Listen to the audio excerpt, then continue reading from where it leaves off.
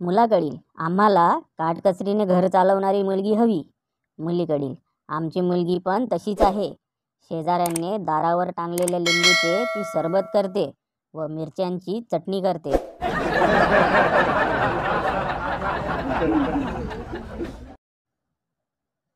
नवऱ्याच्या निधनानंतर एका बायकोने वर्तमानपत्रात जाहिरात दिली.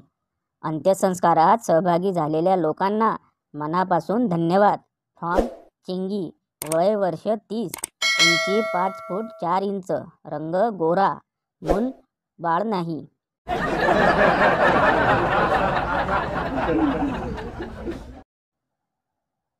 शेजारी वहिनी भाऊ दिसले नाही दोन तीन दिवसात. वहिनी आमचे भांडण झाले होते ते बागेत आहेत. शेजारी मी बघितले ते बागेत दिसले नाही. वहिनी खोदून बघितले का?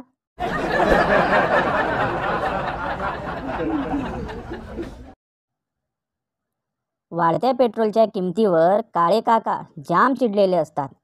काळे काका गाडी ढकलत पेट्रोल पंपावर येतात. पेट्रोल एकशे वीस बघतात. पंपवाला कितीचं टाकू? काळे काका वीस रुपयांचं शिंपड फक्त गाडीवर. बाहेर नेऊन गाडीच पेटवतो.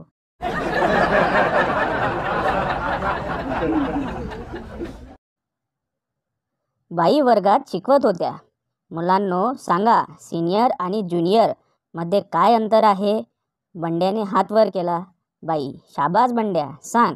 बंड्या बाई जो समुद्राजवळ राहतो तो सिनियर आणि जो प्राणी संग्रहालयाजवळ राहतो तो ज्युनियर असे म्हणतात.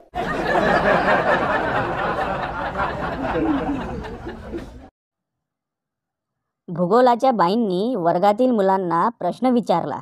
बाई सांगा मुलांनो पृथ्वी का फिरते? गण्या लगेच उभा राहिला आणि म्हणाला बाई जरा खातपीत जावा. तुम्हाला चक्कर आली असणार.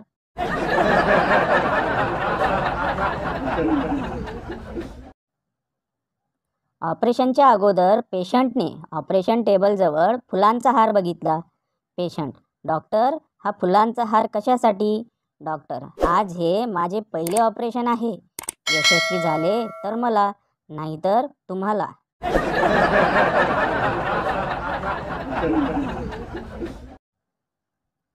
दुकानदाराला एक छोटी मुलगी. काका मी मोठी झाल्यावर तुमच्या मुलाशी माझं लगीन लावून द्याल? दुकानदार हो का नाही? मुलगी मग आपल्या होणाऱ्या सुनेला एक चॉकलेट खायला द्या.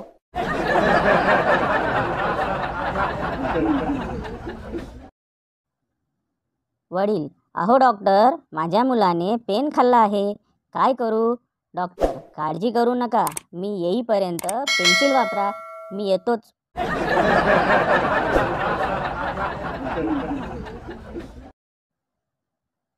सासू नवीन सुनेला समजावताना बघ बाई हे तुझं सासर आहे.